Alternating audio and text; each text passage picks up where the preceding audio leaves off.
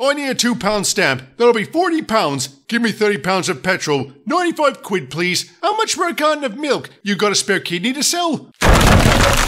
This is what I think of your store. Silly customer! You break it, you bought it. Say goodbye to your house. Fizzling fireboxes, Duck. Why do you keep gouging your customers? For the money. Duh. But you made 80 million on the stock market yesterday. Isn't that enough?